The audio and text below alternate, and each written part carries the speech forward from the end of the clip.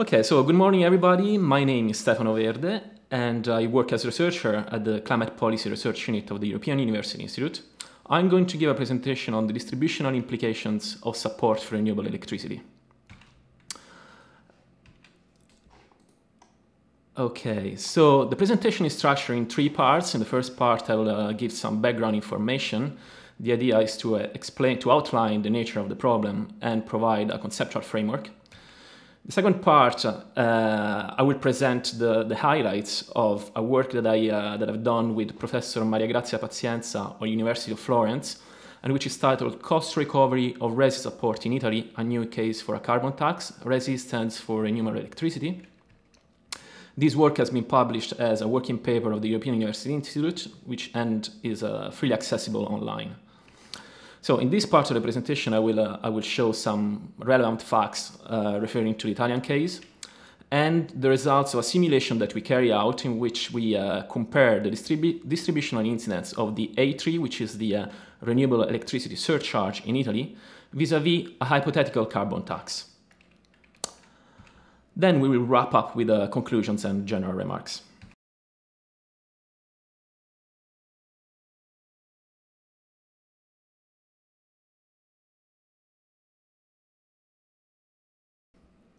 Okay, let's start. Um, well, the starting point is the uh, climate and energy package, which is the uh, legisl legislative basis for uh, of, the EU's strategy in climate and energy policy uh, to 2020. Two binding targets are set uh, by the climate and energy package. One concerns um, the reduction of greenhouse gas emissions and specifically a 20% reduction below the 1990 level this is a target for the EU as a whole. And the other target is for renewable energy. 20% of renewable energy must be, uh, must be achieved in total energy consumption, again, at the EU level. Targets, of course, uh, need instrument if they are to be met. And, well, carbon pricing is the natural instrument for, uh, for reducing uh, greenhouse gas emissions. Carbon pricing literally means uh, to put a price on carbon. And so this translates into two types of uh, instruments. One is uh, emission trading. And if we think of the EU, well, we have a perfect example, uh, the, which is the EU emission trading scheme. And the other one is carbon taxation. As concerns renewable energy, well, this is, I mean, uh, the target uh, is, uh, is, is sought through a, a, direct support to renewable energy. And there's a range of, of instruments that are used uh, among these feed-in tariffs and feed-in premiums, tender schemes, green certificates, and tax benefits. There are also standards and command and control policies that are implemented in the EU at various levels, but uh, we can think of them as residual and complementary to uh, carbon pricing and direct res support. Now, who pays? This is really the, uh, well, a core question of, uh, of this presentation. So who pays for these instruments? Well, carbon pricing raises energy prices in proportion of the carbon content of the, of the given fuel. So we can say that by definition, it is consumers uh, who pay for them, for, for, for it. Uh, this is not true for res support, which can be financed either by the government or end users. So it is either taxpayers or consumers who pay, or both. I mean, the, uh, the, the, cost can be shared uh, by the two. This is true in this was true in uh, is true in uh, in principle. Now, what in this respect, what did we what have you observed uh, uh, over the recent past? Who has been paying for for for for the climate and energy package, basically? Um, well, the recent trend following the, as a result of the economic crisis uh, fundamentally has been weak carbon pricing on, on the one hand, and I'm thinking, of course, of the low level of the price of carbon in the, in the EU ETS. And on the other hand, uh, strong, pretty strong res support, especially of support for, renew support for renewable electricity. Now, in the vast majority of member states, support for renewable electricity is largely paid by electricity consumers. And it is the case that uh, RES support is often pointed as the main culprit of uh, electricity price increases. It is true that uh, electricity has become more expensive in the, in, the, in, the last few years. Here I show you um, the evolution of the consumer price index, the CPI, vis-a-vis -vis the CPI for, uh, for electricity uh, specifically. Now this graph refers to Germany and the uh, over the time over the period 2005-2012, and clear it's clear that the price of the CPI for of electricity has grown uh, considerably faster than the general CPI.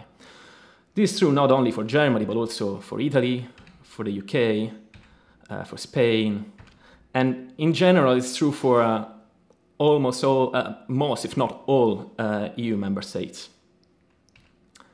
Now, just a, a quick um, digression to say a word of, of caution in, uh, in defense, let's say, of renewable electricity. Um, this may be a, a concept, uh, well, uh, superfluous for people who are familiar already with, uh, with this uh, topic, but it, it, may not be the case for, for everyone. So let me just remind you that renewable electricity has zero marginal cost, and uh, for this reason, um, a, a, greater share of renewable electricity in the in, the, in supply has the effect of lowering the, the, the wholesale price. Okay, so this is a this called this effect is called merit order effect, and uh, therefore, we can say that at least part of a RES-E surcharge, of a surcharge for supporting renewable electricity, is compensated at least at least in part by this type of saving saving by the merit order effect saving. Of course, for, for uh, if there are consumers who, uh, categories of consumers that are exempted from paying the, the RES-E surcharge, then a greater share of renewable electricity in the generation mix will be a net benefit for them. We'll see that that's the case, uh, well, it, is the case in Germany, for instance, and uh, in Italy, and I assume in other, uh, I would imagine in other countries as well. Now, um, having closed this uh, digression, uh, there is one obvious distributional effect associated with uh, an increase in the price of electricity. And, uh, and I'll explain it now. Uh, electricity is a typical necessity good. It's a necessity good par excellence, uh, we could say. And, and therefore, it is to say that low-income households, it is the case that low-income households spends a greater, greater proportions of their income on electricity On electricity. This in turns means, implies that electricity price increases are regressive, which means in relative terms, low-income households carry a greater burden than better-off households. So essentially are unfair. But this is not all the story, this is not the only distributional effect uh, that exists. Um, so here I show you a graph that is taken from a work of uh, Don Fullerton. It's also accessible, free accessible online. And uh, yes, this work was uh, titled Six Distributional Effects of, of, Environmental Policy. It originally was used for, uh, I mean, Fullerton uses it for showing the, uh, in a very stylized way, the uh, distribution effects associated with carbon, pri carbon pricing uh, or caused by uh, carbon pricing, but we can easily uh, adapt it and reinterpret it for a renewable electricity surcharge. Okay, so here on the horizontal axis we have the quantity of the good in question, electricity. On the vertical axis we have the price of electricity. This, of course, is the demand curve. This positively inclined is the supply curve. This Q0 is the equilibrium price initial equilibrium, uh, sorry, initial equilibrium quantity. Uh, P0 is the initial equilibrium price. Now, when the surcharge, the renewable electricity surcharge is introduced, well, it acts effectively as an excise tax. So effectively, there's a, a wage is brought in between the demand curve and the supply curve. Okay, so Q prime become, is the new uh, equilibrium quantity that is supplied and consumed. Uh, this is the price received by uh, the producer, and this is the price paid by the consumer. The difference between the two is the amount of the, of the surcharge, is the surcharge itself. Okay, so there are six uh, effects, as, the, as I said before, um, that are determined. Um, one effect is on consumers, and it's, re it's uh, represented by the area AD, and this effect amounts to the, to the fact that less is consumed and more is, is paid for, the, for what is consumed. Um, there's then the effect that impacts on uh, producers or, or in a more general sense to owners of primary factors, labor and capital, and it's represented by the area BE. So it's the effect uh, due to the fact that lower, uh, a lower amount of quantity is supplied, can be, and, and uh, indirectly quantity of, uh, of labor is employed, of capital is employed, is supplied and employed, uh, and a lower price is received, so the remuneration of the factors is lower. A third effect is the subsidy that goes to generators of renewable electricity and is represented by uh, the area AB. Uh, the fourth effect is the effect of environmental protection, okay, represented by the area CDE. A fifth effect is the cost of the transition, so essentially re-employing those factors that have, are, have been uh, mm, displaced by as a result of the uh, the reduction in in quantity supplied and demanded. So they will have labor uh, will have some labor will have to be retrained, uh, capital will have to be reallocated to other sectors, and so on. And then there's a sixth effect that is not uh, visible on the uh, on the graph, which is the effect on asset prices. So this can be effects on the on the value of uh, um, corporate stocks or on the value of land or houses or assets in general. Now, each of these effects can have a more or less uh, regressive or regressive uh, incidence. Okay. Now, one uh, for each of them, one could would could bring arguments in favor of regressiveness or progressiveness. So we are not going to, into that. But for sure, the first the first type of effect, the one on consumers, is regressive. And it's regressive for what I said before, that electricity is a necessity. It's a necessity good. So it's uh, the impact on it of a price increase is regressive. Also, I could one could uh, make the argument that the subsidy, uh, the subsidy has a regressive uh, effect uh, to the extent that richer households gets, in relative term, gets more of that uh, subsidy. I think that one case in which this is more obvious is in, uh, in the case of subsidies to photovoltaic uh, panels on, on rooftop photovoltaic panels. Um, where if it is the case, and there are studies that show that that, that is the case, um, if it is the case that it is more, it is, it is uh, more wealthier households that get the that do this type of, of, of investment and therefore get the subsidy, then it is a, a regressive. Uh, it has a regressive uh, impact. Okay, this was just to say that we focus uh, in the remainder of, of, uh, of my presentation uh, on the impact on consumers, on consumption, on the distribution impact through consumption but there are other a whole there, uh, there are other effects as well that we should at least be aware of. Okay, let's move to the second uh, part of the presentation. Uh, so the the paper the, the paper. First, some facts some facts about uh, renewable electricity in Italy. This graph shows the evolution of uh, renewable electricity generation by technology and here the uh, orange curve uh, is the curve of photovoltaic. And uh, I think it's the most obvious, uh, most interesting element of the last few years. I mean, clearly there has been a, a jump in photovoltaic uh, generation. And in 2012, 20% uh, of renewable electricity in total electricity consumption has been reached. Italy self-imposed a target of 28% to be reached by 2020. So uh, this target has been almost reached uh, with a, a, few years in advance. And this graph, well, it's, uh, it's similar except that it refers to installed capacity. And again, here the, uh, the growth of uh, photovoltaic generation is even more uh, evident.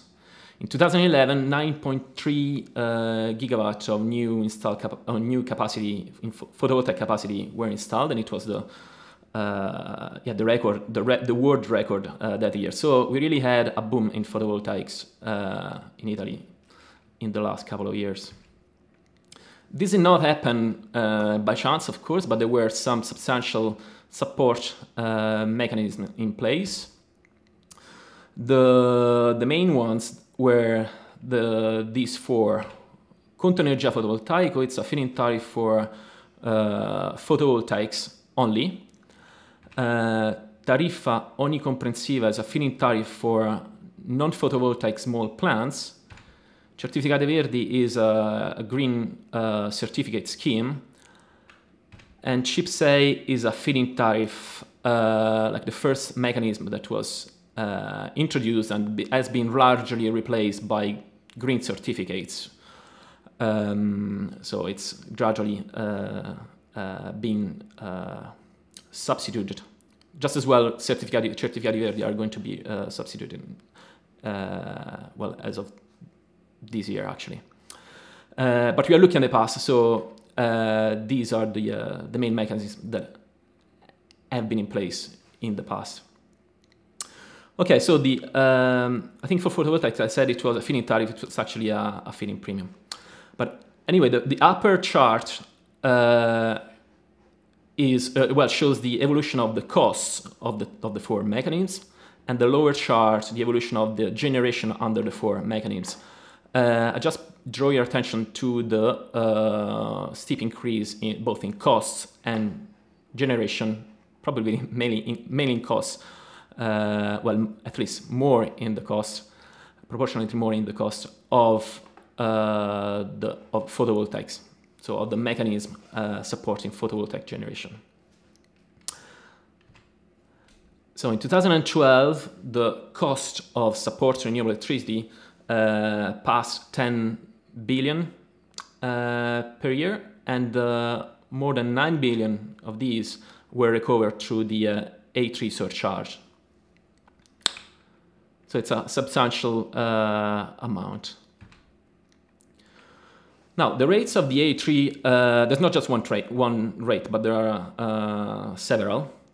So at the beginning of 2008, um, these were the rates in, in force, the, the rates in force. Uh, the upper table refers to uh, residential users and the lower table to industry users. In the body of the tables, you have the rates.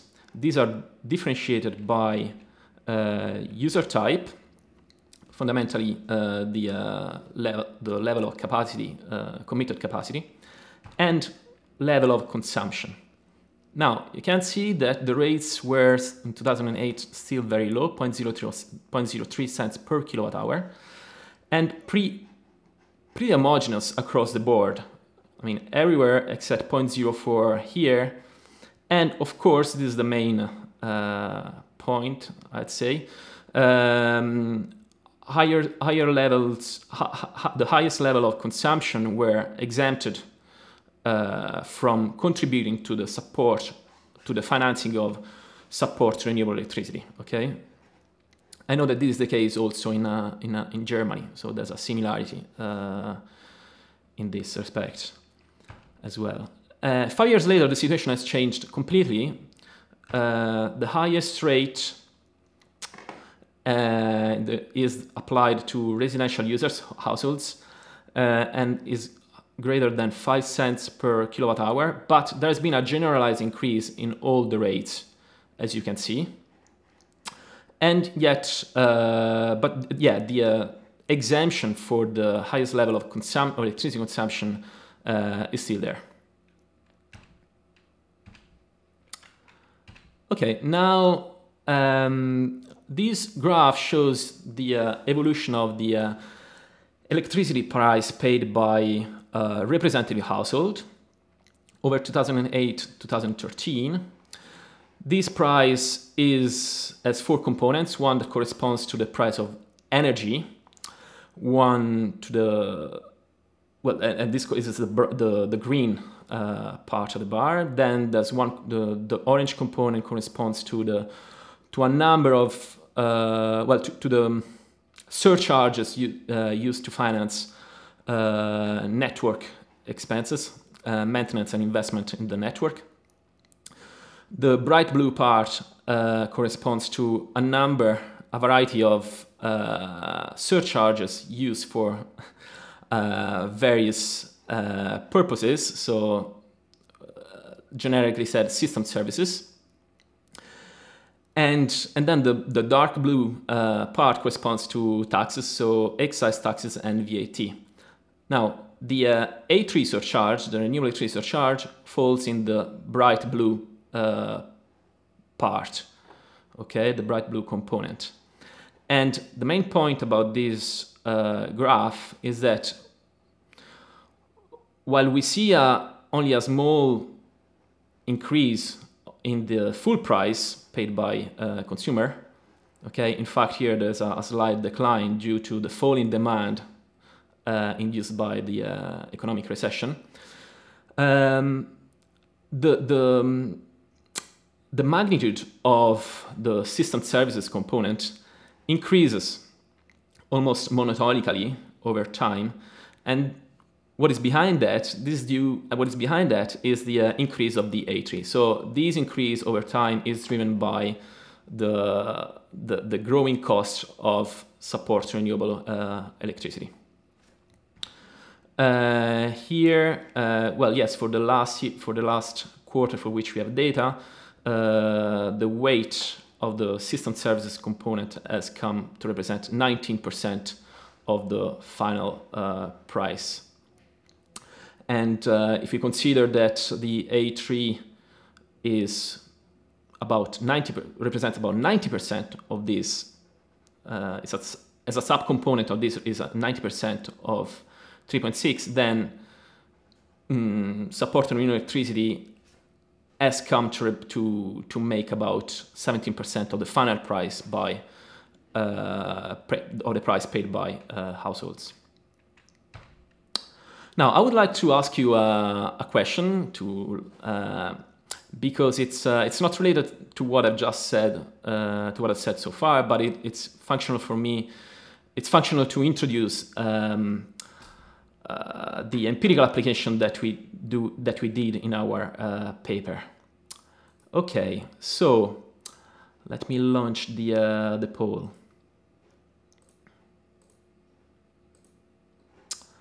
Okay, so the question is, would you say that energy for home uses, heating, cooking, lighting, etc., is a more necessary good than energy for private transport? A, yes. B, no. They are equally necessary to the same degree. Okay, I'll give you a few seconds to, uh, to answer. Um, well, many are already, uh, have already answered. Uh-huh. Pretty quick. A couple of more seconds. Yeah, if you're, I'll give you a couple of seconds more. Okay, it seems it's uh, it has stabilized to more than to, to 85% of votes. Okay, I'll now close the poll. Uh, let's see the results. Okay, so 67% of you think that yes is more unnecessary good, no only for 4%, 4% and 30% think that they are equally necessary. Okay, well, I agree with, uh, with the first, uh, I mean, my guess would, be, would have been the first uh, answer, yes, that uh, energy energy for home use is, more a necessary good compared to uh, motor for energy use in private transport. Now you'll see the, you'll see now why I think uh, uh, this is useful. This is a useful now to introduce the uh, empirical exercise we did. Okay, so yeah, in our exercise, uh, in our empirical exercise, as I said in the in the first uh, at the beginning of the presentation, we uh, make a comparison between the A3 and a hypothetical carbon tax. Hypothetical, and I say hypothetical because a carbon tax uh, in Italy does not exist as yet. Um, so, what is the reasoning about, uh, behind it? Well, a carbon tax uh, that is applied to all fossil, all fossil fuels affects all forms of CO2 related energy use.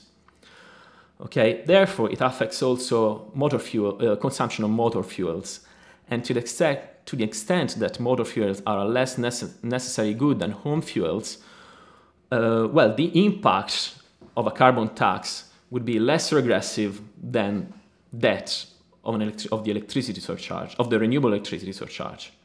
Okay, if, if that is the case, well, then we could argue that replacing the renewable electricity surcharge with a carbon tax, replacing in the sense of uh, using the carbon tax as an alternative means for financing uh, the yield of the carbon tax for financing uh, renewable electricity, support renewable electricity, well, would be an improvement both on the ground of cost effectiveness in emissions abatement, because a, a, a uniform price on all CO2 emissions, such as a carbon tax, uh, would uh, determine is the most effective way of reducing emissions, but also an improvement on the ground of equity. Okay. Now we want to uh, we wanted so this was our we wanted to test this uh, hypothesis uh, using Italian data. Uh, before though, I would like to show you this uh, data from Eurostat on uh, on the consumption on the on the budget shares of electricity, gas, and home fuels for the 28 EU member states across income distribution. So here on the horizontal axis you have income, the five income quintiles. Each curve corresponds to um, a different um, EU member state. Um, and what they each of them represent is the budget share so the share of total expenditure uh, or household total expenditure of these aggregate of these aggregate electricity, gas, and other home fuels. As you can see, the importance of consumption. There's a general trend which says that the importance of consumption of electricity, gas, and other home fuels declines with rising levels, uh, with increasing levels of income. Okay, so a price increase in home fuels uh, would have a regressive impact. The opposite is, is, a, is what we see for motor fuels. So I'm not going to discuss, uh, the, the, the, picture is uh, analogous to, to the other one, except that here we are considering the aggregate motor fuels. Okay, and here the trend you see is, is, uh, is positive, like the, the gradient, the general trend is that the gradient is, is positive. Okay, so um, the impact of a price increase in motor fuels certainly would not be uh, well would not be regressive. Okay, then the concept of regressiveness is um, is uh, an average concept. Okay, uh, we'll get that back to this idea uh, later in uh, in the presentation. So this uh, yeah this evidence gives the says that the 70 the 67% of people of you who said that home fuels are more a necessity, uh, more necessary good uh, are were right. I mean, we're right to uh, think so. Okay, now our empirical analysis had two as two object had two objectives. First, to estimate the distributional incidence of the A3 surcharge across income distribution. And secondly, to uh, compare the A3 and hypothetical carbon tax sorry, with respect to distributional incidence. Um, yeah, we do this because we are. Uh, I mean, the rationale for doing this is to is that we are thinking of the carbon tax as an alternative way of uh, finding the resources to uh, alternative way to the A3 uh, for finding the resources to fund to finance uh, support renewable electricity. The data we use, well, the, the, the analysis based on the household budget survey, uh, the Italian household budget survey from year 2011. Just one word, one quick word on the methodology. For each household, we, we worked out the burden of the A3 and of the carbon tax in the following way. We simply multiply the rate of the, uh, of the A3 by electricity consumption and divide by uh, total expenditure of the household. And similarly for the carbon tax, we multiply the carbon tax rate by CO2 emissions embedded in, in, a, in the household's uh, energy consumption and divide by total expenditure. Yes, so CO2 emissions are, are those embedded in direct energy consumption, namely of home fuels and motor fuels. And the analysis is a, is a static one, is limited to, to consumption patterns, and we do not take behavioral response into account. Okay, so I'll show you the main results of this analysis.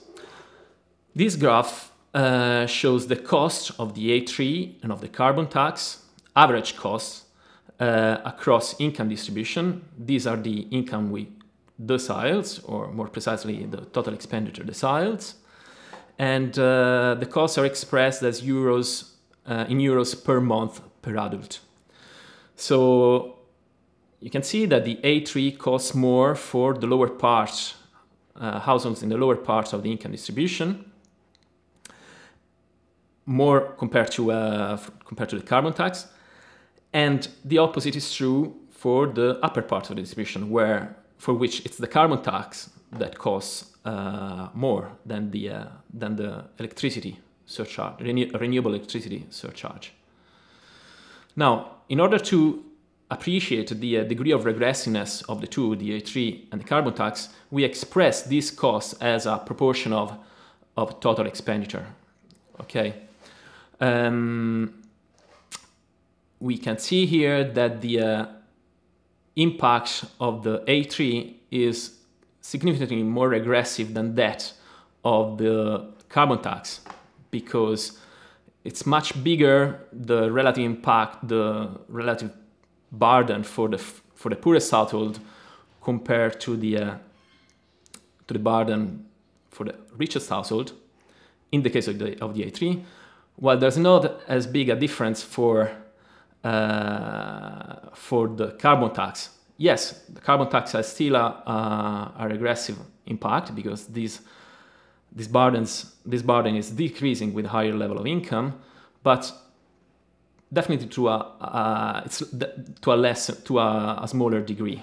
Okay, so the A3 is more aggressive than a carbon tax. This is reflected in the, also in the in the first to 10 decile ratio, which is a measure of uh, one way of measuring uh, the regressiveness. Uh, 3.5 for the uh, A3 and it's two about two for the carbon tax. And these, I mean, what drives this result is the fact that motor fuels are less necessary good than electricity. You see that uh, I, I, haven't shown it here, but the data show that uh, motor fuel consumption increases with, uh, with income, uh, different, uh, much more than electricity consumption, relatively more than electricity consumption.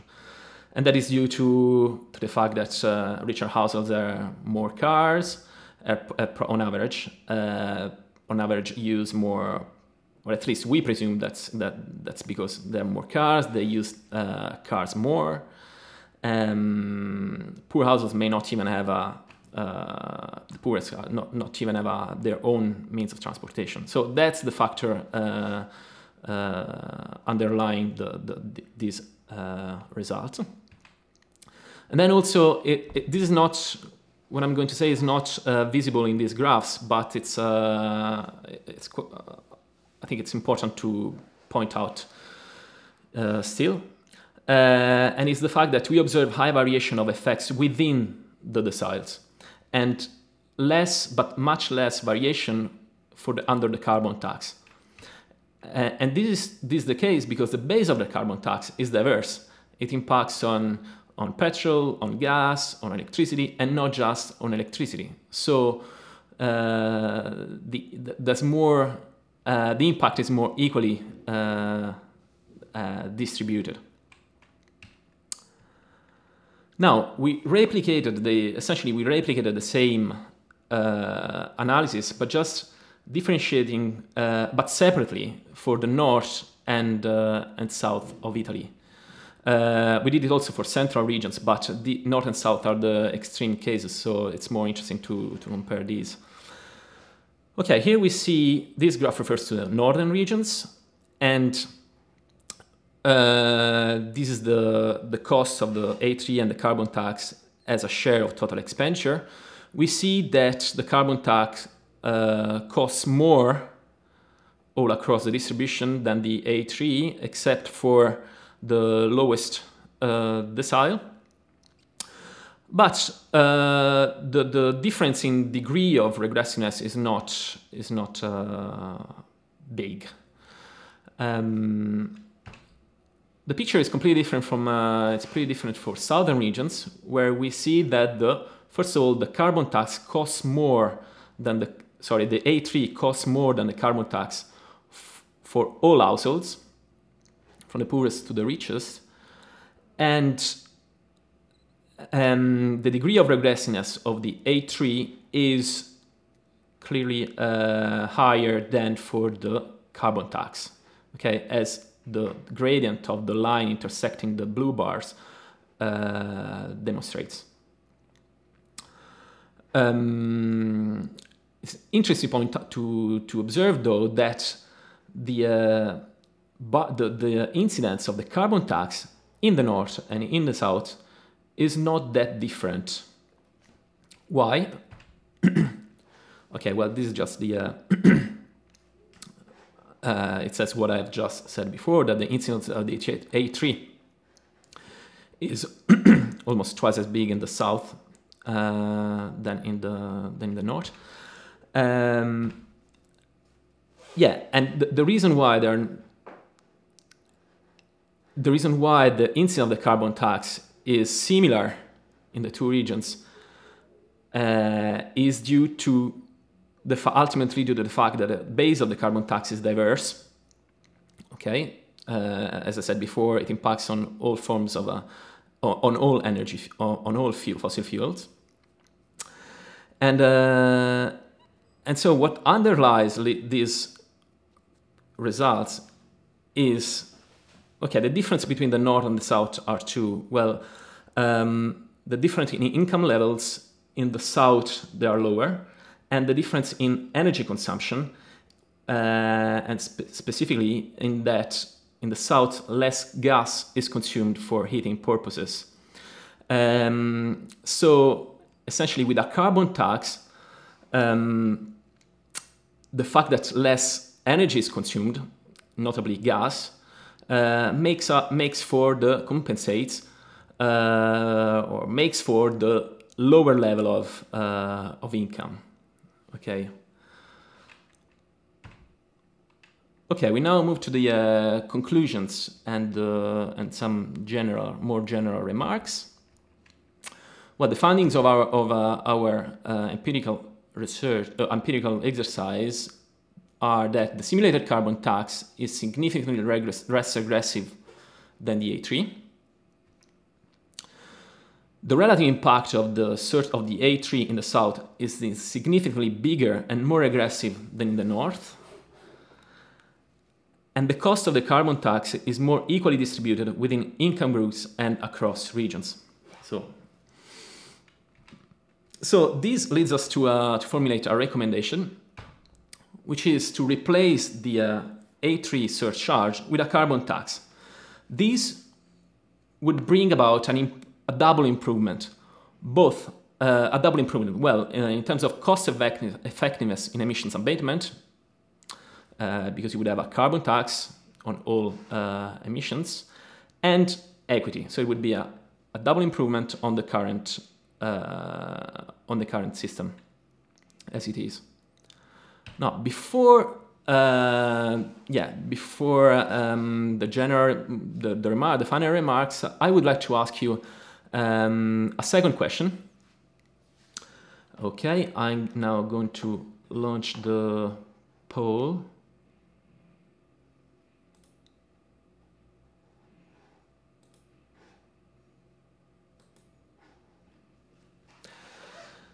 Okay, you would be happier to pay a carbon tax if the revenue A was used for what the government thinks is best, B was used for financing investment in renewables or energy efficiency, C was used for something specific other than B, which you think is more important, D you don't mind what the revenue is used for.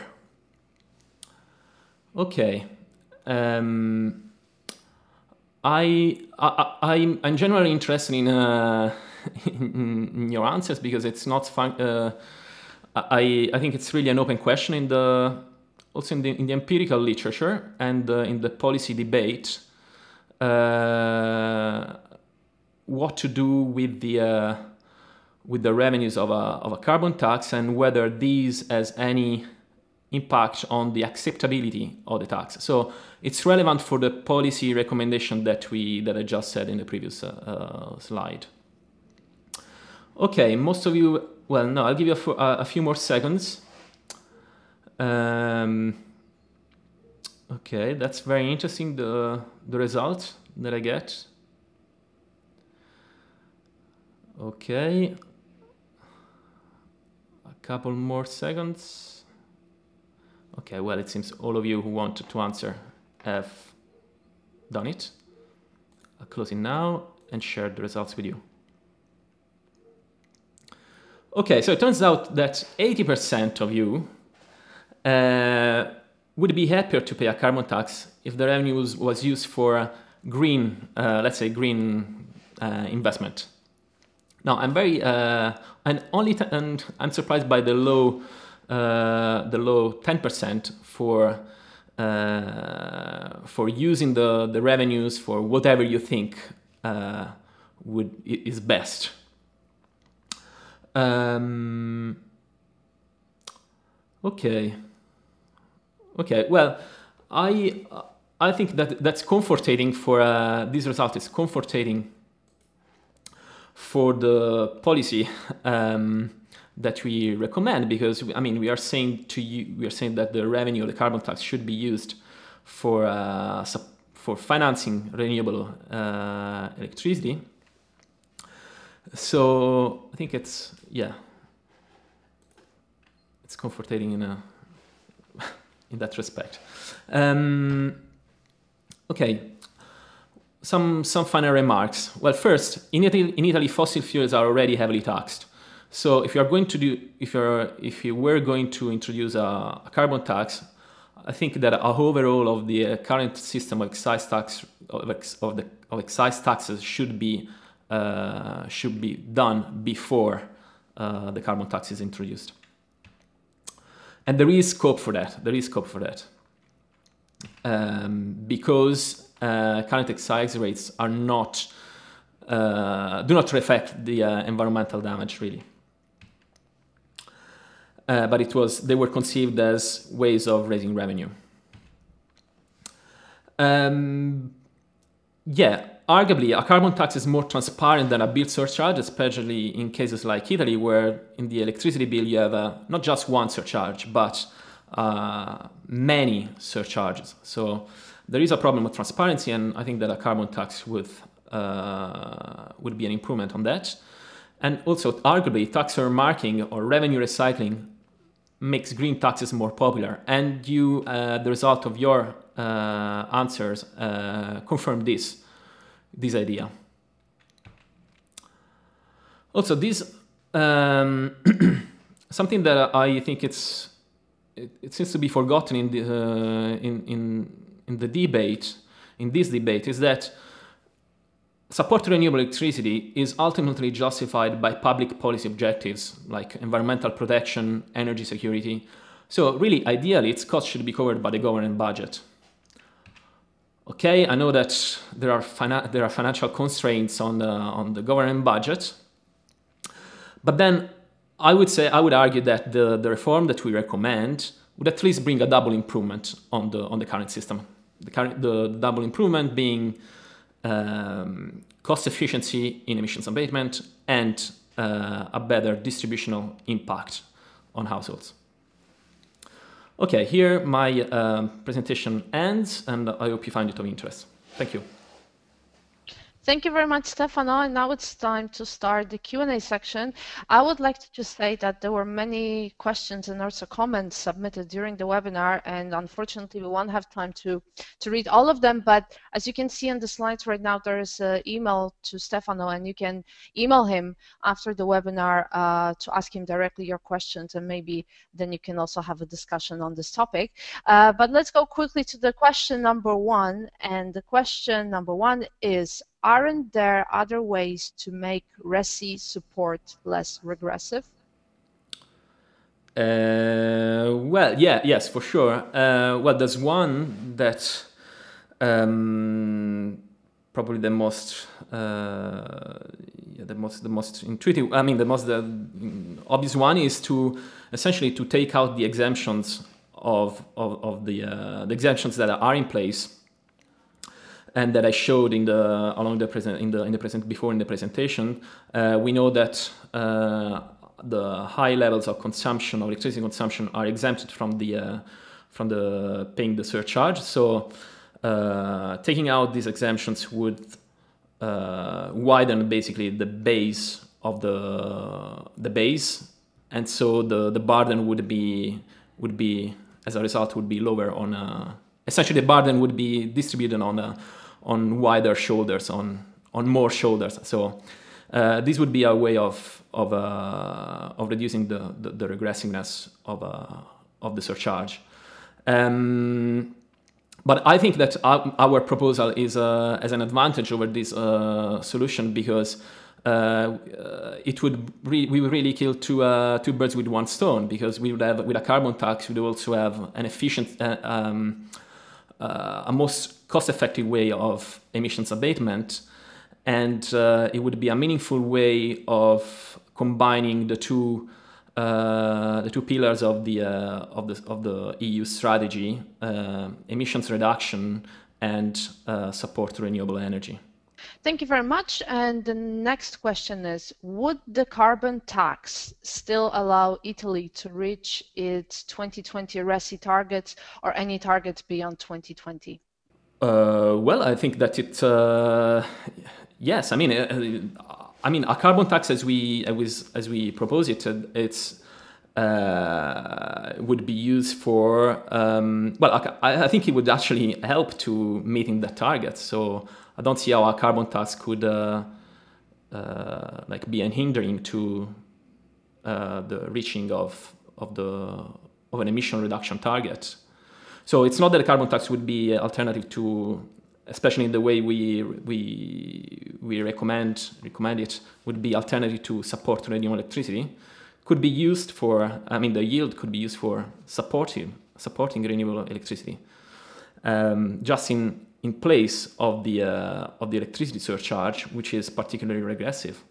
And the carbon tax is uh, well, it's it's it's regressive or neutral, uh, but less regressive than the electricity surcharge, and that's what we wanted to uh, to show. Uh, no, I don't think it would be a an hindering at all. In fact, it would be a it would help to reach that uh, that target. Okay, thank you. Next question. How would replacing the A3 tax by carbon tax would impact the market of distributed small-scale generation and storage? Small-scale generation? And storage, yes. And storage. Well, so I would impact on on supply basically on supply of electric on electricity supply. Mm, well, small scale generation would not be affected because the uh, support to renewable electricity, I mean, would still be there. Like I'm not saying that the feed-in tariff, uh, the feed-in tariffs, the other schemes in support renewable electricity should be scrapped. I mean, what I'm what I'm suggesting is that just the way of financing those would be uh, different. Instead of uh, through an electricity surcharge, it would be it would be from uh, it would be with a carbon tax. So it shouldn't have a a big impact a, a, big impact on uh, on the supply uh, side. At least it hasn't an obvious uh, impact on uh, supply, like on on electricity generation. Okay, thank you. I think we have time still for two more questions. And the next question is, uh, Stefano, do you know what is the proportion of governments in the European Union who favor the use carbon taxes to finance generation from low carbon sources? Well, for the government, I uh, concerning government, I don't know.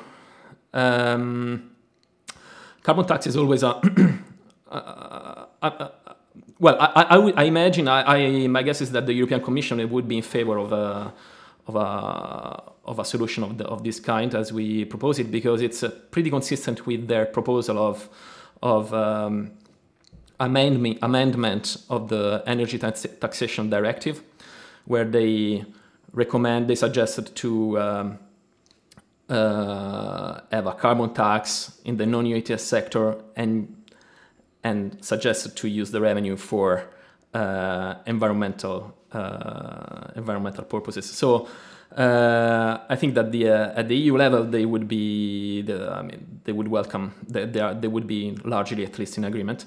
Uh, but governments, well, it's uh, I mean the. Uh, to be honest, I don't know. single single governments may have different positions, and uh, a carbon tax is always difficult to uh, to get accepted. And uh, an electricity surcharge instead is uh, because of the of the question of visibility. I think it's easier to to be imposed. Yeah, that's a bit sad, but. Mm-hmm. Thank you. Okay, so now it's time for the last question, and I would appreciate a brief answer, Stefano. okay, so how would the analysis change with green certificates instead of feed-in tariffs? Okay, well, the, the I think that. Mm, uh, I think that if you have a, a, an electricity surcharge like the A3, then it's, it, was, it's, it was easier for us to do the, uh, the simulation uh, because, well, you know what the rate is and uh, you just apply to electricity consumption. So uh, you know how much every household paid uh, to support renewable electricity. whereas, but, but the but it would it would be like it would be more difficult empirically uh, if only green certificates were in place um, because the impact of the of, of uh, green certificates on the final price paid by uh, households is filtered uh, is filtered by the wholesale market. Okay, so one would have to one would have to take this uh, into account. If you assume that the, the cost of green certificates for, for traditional generators uh, is fully, uh, fully passed on to, to, uh, to, on to the cons final consumers, then uh, well, the analysis would be, would be pretty similar. So I think empirically it would be more difficult to, to do the, uh, the simulation, but in, mm, conceptually, there would be not there wouldn't be a, a real difference because you always have a, a, a price inc- a price increase on the final price paid by uh, by by the final consumer. Thank you very much, Stefano. Thank you. You're welcome.